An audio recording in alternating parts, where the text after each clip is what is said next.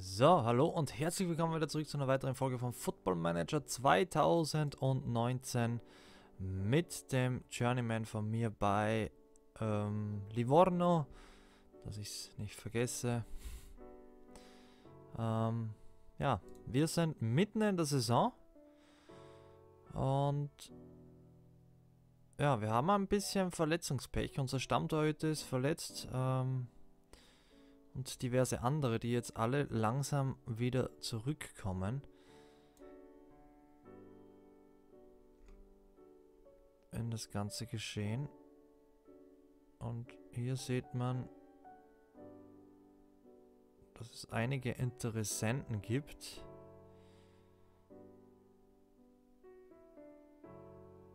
Für die Spieler von uns. Bello können wir wieder nach vorne einschleusen. Mora, der sehr viel Spielzeit bekommt. Wobei ich dann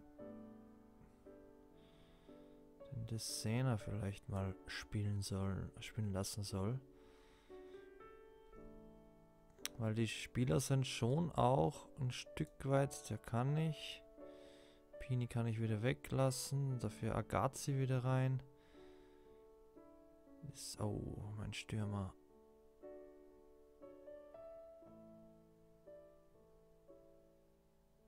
Bedenken. Achso, ja. Das ist jetzt nicht so tragisch. Das Ding ist, ich habe ich hab gedacht, also ich habe unseren Stürmer, unseren Kosak, unseren alten, habe ich verkauft und dachte, dass der eigentlich zur Saisonmitte dann wechselt, aber das Blöde daran ist, er ist sofort gewechselt und ich habe jetzt keinen Ersatz eigentlich für unseren Stürmer. So, Campo.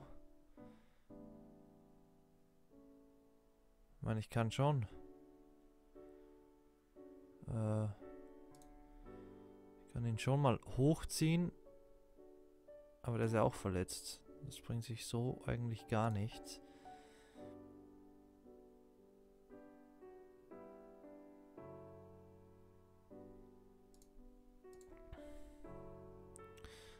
also werde ich mit Adamo spielen.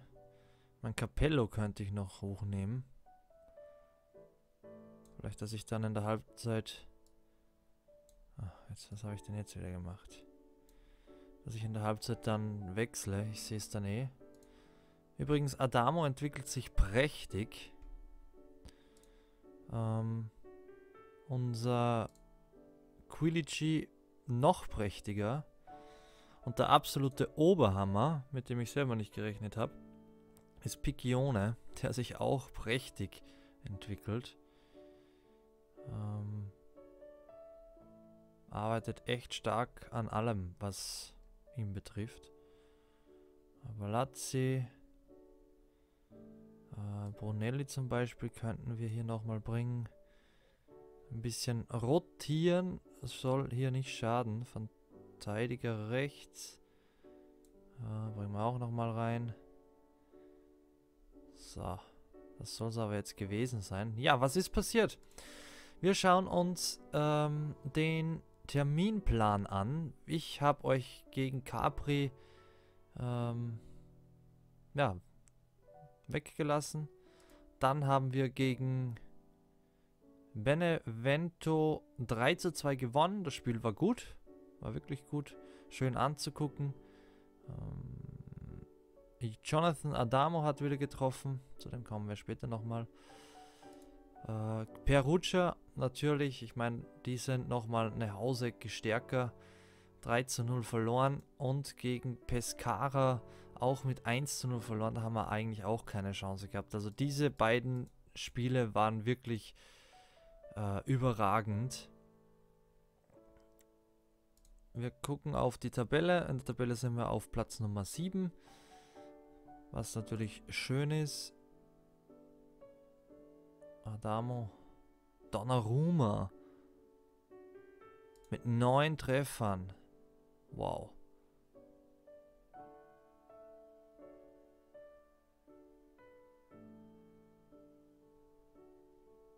Den holen wir nicht ein. Übersicht, Teamwork. Wie alt ist der? 30. Darf ich... Darf ich mir den da bitte... Volle Kenntnis. Ich will mir den angucken.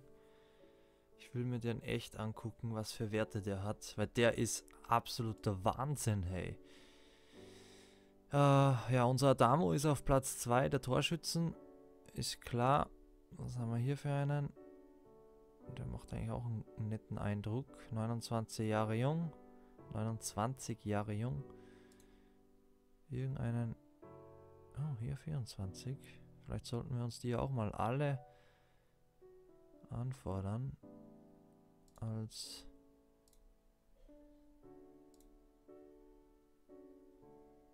Ah, der ja weniger Kraft und Sprunghöhe. Nervenstärke. Wobei es auch...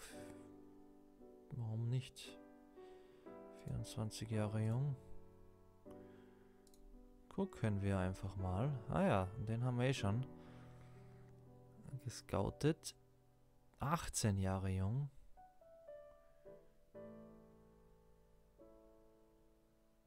Ist volle Kenntnis. Der scheint eigentlich wahnsinnig zu sein, was die Werte betrifft. Und alle. Oh, hat auch einen Vertrag bis 2025 und ist jetzt schon 3,7 Millionen Euro schwer. Also wert. Wow.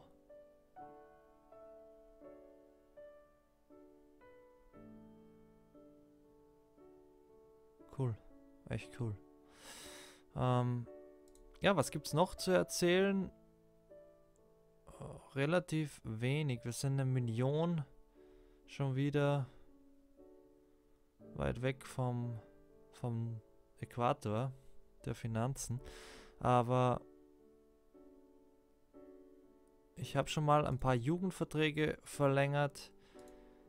Das hat Gott sei Dank funktioniert. Das heißt, theoretisch könnten wir weiter aus der Jugend zehren. Der ist auch verletzt.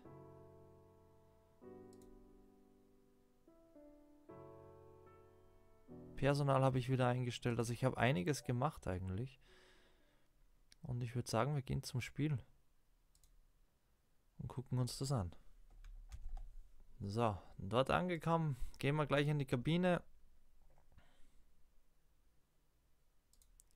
Genau. Konzentriert euch auf das Spiel. Und los geht's.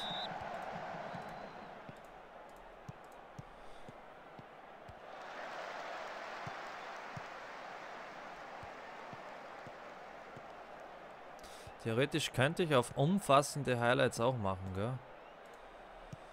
Und dann gucken wir uns das als Ganzes an. Glaube ich, ist besser. Piccione. So, da ist unser Youngster. Ah, da lässt sich den Ball abnehmen. Und das ziemlich, ziemlich einfach.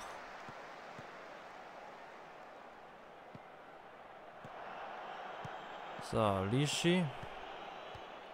Picchione. Lisci. Agazzi. Ja, schöner Pass. Und der Schuss, ja, das, das war zu viel des Guten. Distanzschüsse, glaube ich, kann er nicht so gut.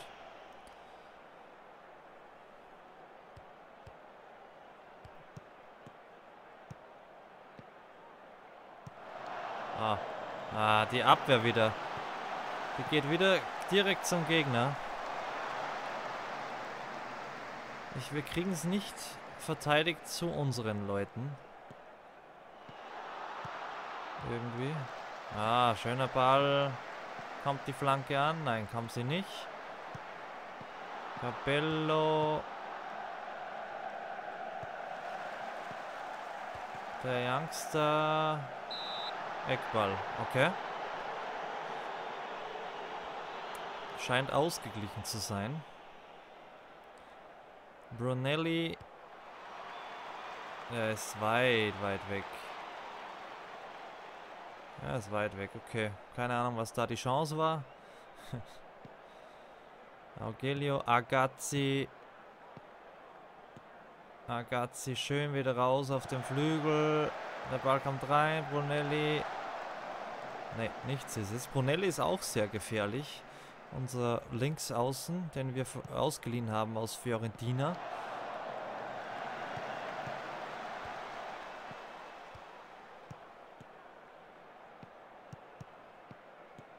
Aber leider wird er uns am Ende wieder verlassen. Und das war ein guter Ball und das war ein Stellungsfehler. Der kann uns sehr teuer zu stehen kommen. Er legt ihn nicht quer. Das wäre ein sicheres Tor gewesen. Hätte er den quer gelegt. Und der Pass war gut. Kann abschließen? Nein, kann er nicht. Zu spät. Also, wow.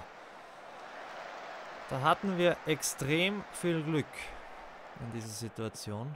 Das können wir hier gerne noch mal in live angucken. Hier geht er schön drüber. Renault. Und dann hätte er nur rüberlegen müssen. Er hätte es selber gemacht. Und somit an die Stange geschossen. Agazzi.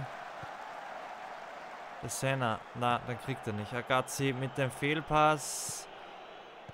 Germano, das ist ein schöner Konter. Er spielt er jetzt rüber. Ja, aber da kommt keiner ran. Vielleicht nochmal die Möglichkeit mit einer Flanke. Nachschuss. Pfosten, Nummer 2. Ach du heiliger Strohsack. Wir werden hier echt überrannt. Vielleicht sollten wir da ein bisschen zurückgehen. Wir spielen immerhin auswärts. Dass wir nicht so überrannt werden. Oh, Adamo. Und jetzt vielleicht der Konter. Das ist ein Hin und Her. Adamo mit dem Schuss und das ist das Tor. Yes. Das ist das Tor.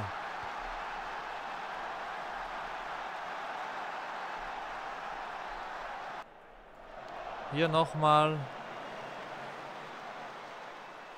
schön ausführlich von unseren Top-Leuten. Und der ist direkt angenommen. Adamo. Eigentlich für mich ein Traumtor mit links. Der Wahnsinn. Und weiter geht's. Wir kommen hier... Oh, Moment.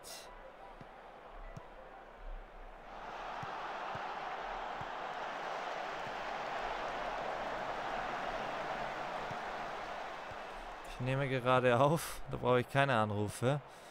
Dass ich die auch nicht auf leise stellen kann, ich weiß es nicht.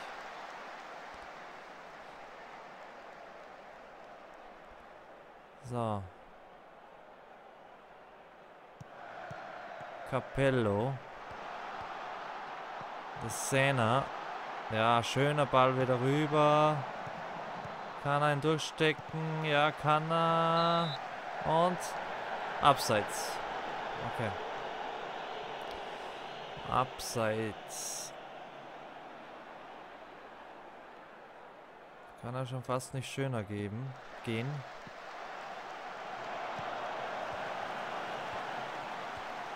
Ah, der Schuss wurde abgeblockt. Nochmal die Möglichkeit. Nein, haben sie nicht. Der Konter wieder vielleicht. Hm. Sieht fast so danach aus oder? Ne. Keine Ahnung, was das jetzt war.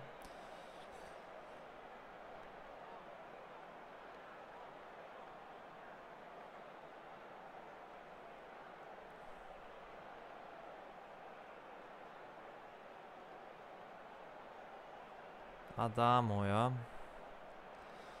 Ich glaube, der hat jetzt das fünfte Tor. Hinkt aber immer noch ein bisschen nach.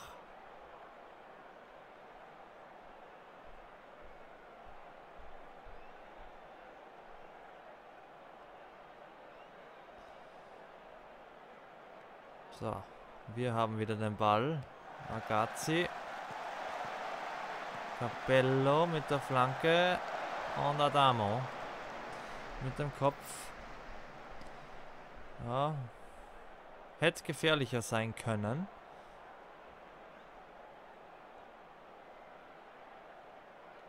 Capello, Brunelli.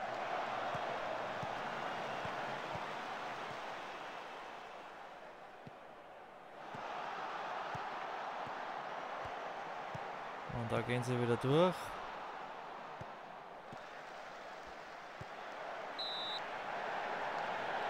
Offsides. Das war ein Highlight jetzt, oder wie? Oh. Auf jeden Fall, mit diesem Sieg, wenn es einer wird, wären wir derzeit wieder auf Platz Nummer 3. Krass, oder? Wer hätte das gedacht? Rondanini, unser Rechtsverteidiger, aber nicht unser Stammrechtsverteidiger. Der hat Pause heute, die Rotation greift.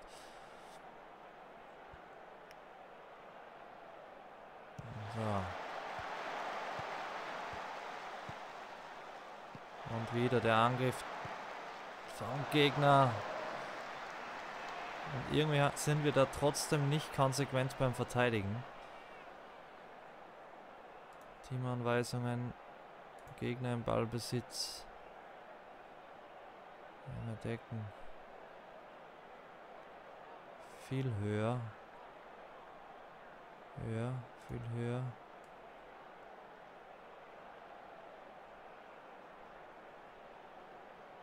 Hmm.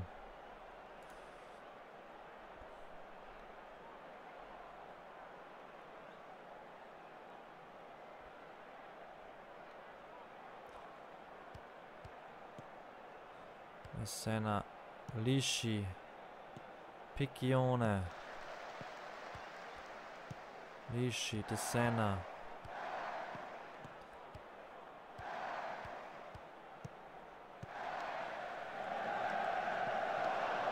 Ah, De Senna nochmal.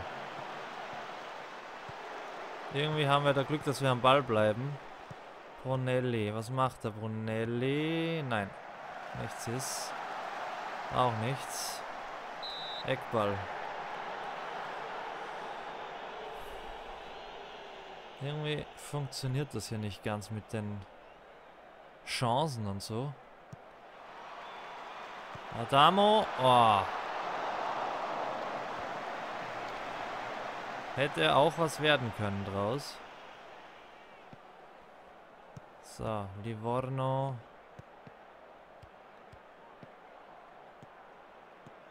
Livorno. Immer noch. Ach, nee, das sind ja gar nicht wir. Kulo. Warum geht der da nicht drauf?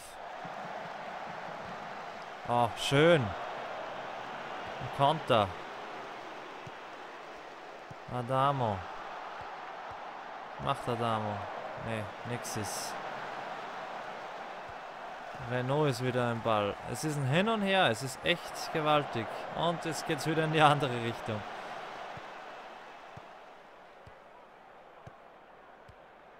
Der lange Ball. Adamo ist da. Adamo 2 zu 0.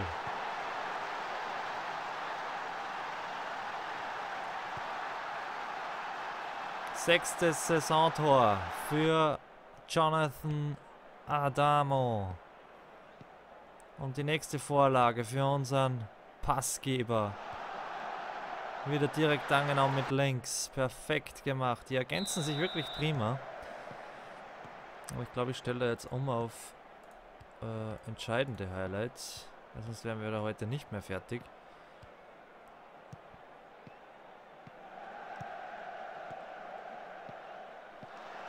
Ah, wieder. Der Ball wurde erobert. Da kommt er sogar durch. Kann, bringt er den Ball? Nein, was macht er denn? Oh. Da hätte viel mehr rausspringen können dabei.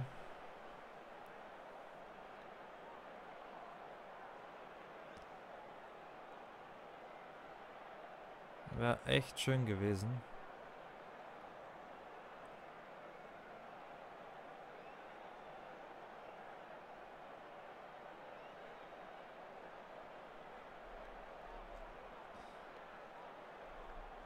Ungefähr 40 Punkte brauchen wir für den Klassenerhalt. Wir haben jetzt schon 13. Das heißt eigentlich was. Leidenschaftlich.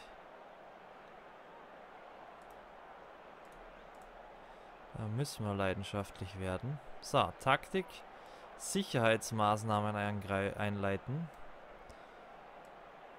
Den können wir auch unternehmen. Das ist Raimo. Da braucht er auch ein bisschen Spielzeit.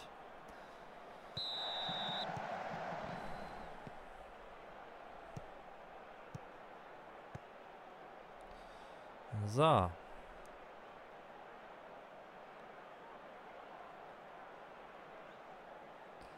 Mal schauen, wie das Ganze hier noch ändert.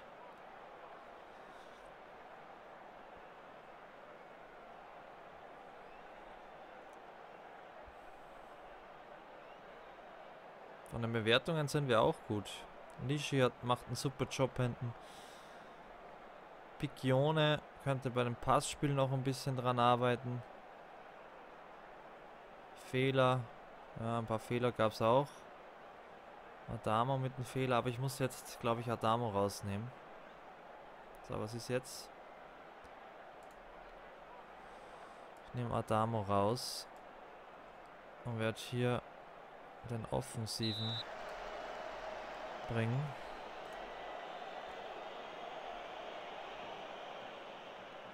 Er soll sich noch ein bisschen schonen die letzten Minuten. Ja, Eckball. Viel zu weit. Und wir köpfen den Ball wieder zum Gegner.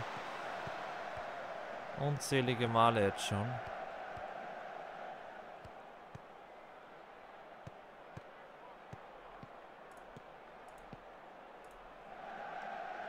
Und wahrscheinlich jetzt wieder, ja, natürlich.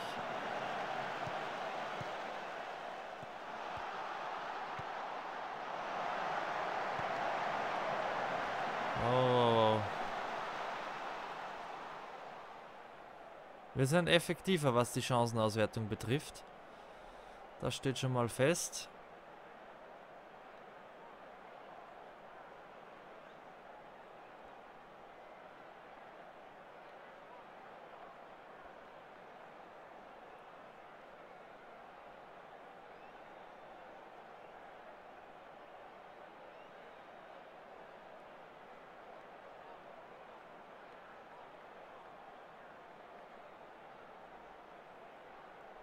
Die letzten fünf Minuten.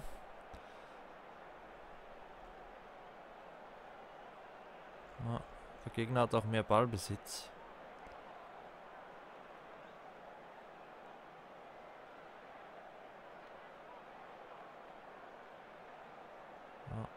Freistoß nochmal. der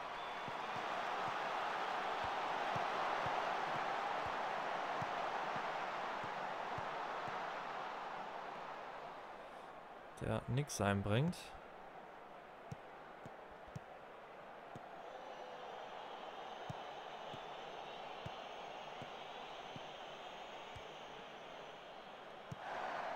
So, Ragazzi.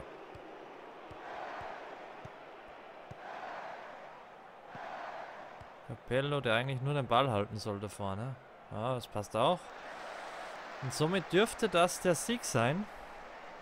Und wir sind wieder in der Spur.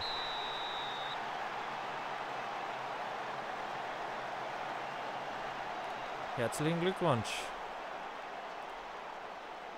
Oh, was habe ich jetzt falsch gemacht?